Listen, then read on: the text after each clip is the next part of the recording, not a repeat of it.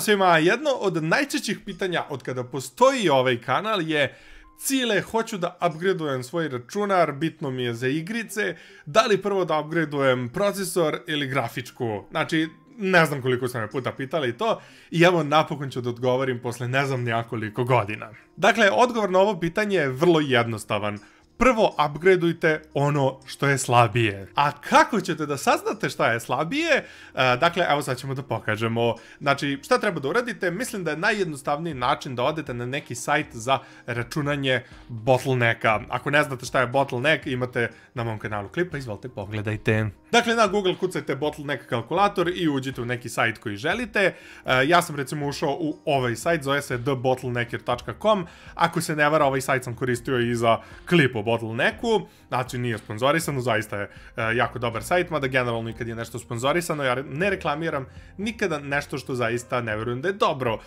ali dobro, hajde mi idemo da vidimo šta je ovo. Dakle, idemo ovde dole, scrollujemo i ubacit ćemo, znači, ovde za CPU, ubacit ćete vaš procesor, za GPU ubacit ćete, vašu grafičku. Ja sam stavio, znači, moj procesor i moju grafičku, dakle, Ryzen 7700 i GTX 980 Ti i kažemo calculate. Da vidimo šta nam kaže.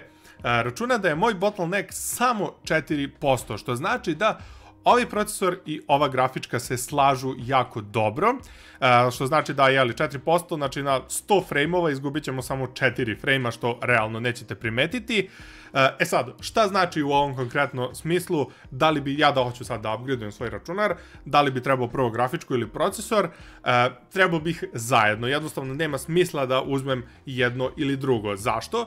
Zato što ja sad uzmem grafičku novu, tipa RTX 2080, e, stvorit će se bottleneck, jednostavno procesor neće moći da isprati tu grafičku i samim tim nema smisla, znači da to radim. Jedino da nemam pare sada za oba dela, pa ajde uzmem jedan, onda bolje da uzmemo a, prvo grafičku, zato što eto ipak ima tih 4% i onda posle kad budem imao para, onda i procesor, ali u svakom slučaju u ovom smislu, u ovom konkretnom slučaju nema smisla upgradeovati samo jedno ili drugo, jedino oba. Ali hajde da vidimo neki drugi primer. Znači, evo ovde sam stavio uh, opet znači, svoj procesor, AMD Ryzen 7700 i stavio sam uh, malo lošiju grafičku, znači GTX 960. I ajde kažemo calculate i izbacuje nam bottleneck 45 posto, kaže, evo ga, your GPU is too weak for this processor, što znači da uh, naša grafička u ovom smislu zadržava procesor, što znači da u ovom konkretnom smislu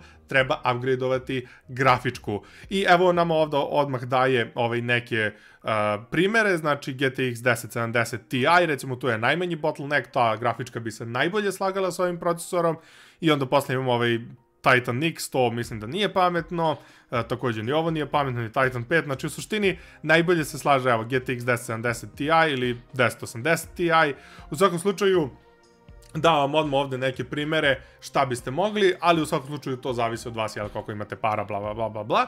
E, I ajde da vidimo i treći primer, znači stavili smo moju grafičku 980 Ti i stavio sam stariji procesor, znači 6300, FX 6300, ko se seća, davno sam ovaj procesor proglasio za jedan od najboljih, zapravo za najbolji, zašto je tada imao ubedljivo najbolji odnos cena-vrednost, tako je bilo tada, i, i dalje je taj procesor jako dobar, ali mislim, jeli, zastario je. Jednostavno, I ajde kažemo calculate, i evo kaže 19%, kaže your CPU is too weak for this graphics card, znači ali 19%, to je već na 100 frame-ova gubimo 19 frame-ova, jeli to već nije zanemarljivo, e, što znači da u ovom konkretnom smislu treba da upgradeujemo procesor. I evo nam odmah daje ovde neke uh, primere, recimo prvo daje uh, Intel Xeon što baš nije pametno, tako da eto videli ste da nije uopšte teško, znači samo provalite koji vam je deo slabiji i njega zamenite, a ako nema bottlenecka onda jednostavno nema smisla jedan ili drugi, nego morate